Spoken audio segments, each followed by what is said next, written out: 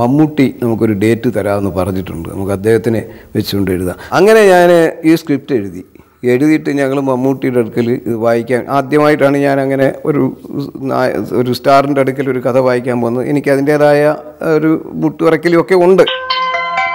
ഇത് ഒരു കലാകാരന്റെ സ്മരണകളിലൂടെയുള്ള പിന്നടത്തമാണ്. അപ്പോൾ വാതിലിൽ ഒരു മുട്ട് അതൊക്കെ പോയി. പാവങ്ങളെ പോലെ ഞാൻ എഴുന്നത് അതിങ്ങനെ തുറന്നു.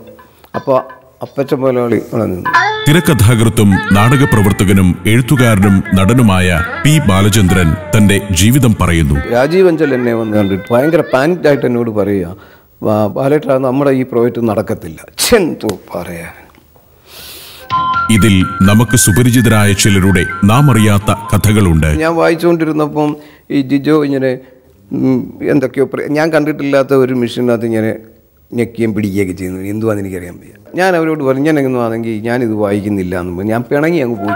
സിനിമയിലെ അണിയറ നാടകങ്ങളുണ്ട്. ആ വെള്ള സ്ക്രീനിലാണ് മോളിൽ ഇങ്ങനെ തിര. കഥ എന്നുള്ളത് വെള്ള അക്ഷരത്തിൽ വായിക്കുക. സംഭാഷണം എന്നുള്ളതും വെള്ള അക്ഷരത്തിൽ വായിക്കുക. പി. ബാലൻ ഇന്ദ്രൻ എന്നുള്ളതും വായിക്കുക. അത് മാത്രമേ ഉള്ളൂ ഈ കറുത്ത പ്രതലത്തിൽ വെള്ള അക്ഷരം. ബാക്കി വെള്ള അക്ഷരത്തിൽ വെള്ള പ്രതലത്തിൽ കിടക്കുക. വായിക്കാനേ പറ്റത്തില്ല. പി ബാലചന്ദ്രൻ പിന്നിട്ട വഴികളിലേക്ക് തിരിഞ്ഞു നോക്കുകയാണ്. പിന്നെ ഒരാഴ്ച കഴിയുന്ന ദിവസത്തിൽ തിരക്കഥ ഹരിപ്പോത്തൻ സംഭാഷണം സംവിധാനം ഭദ്രൻ.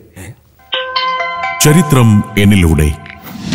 തിങ്കൾ മുതൽ വെള്ളി വരെ രാത്രി പത്ത് മുപ്പതിന്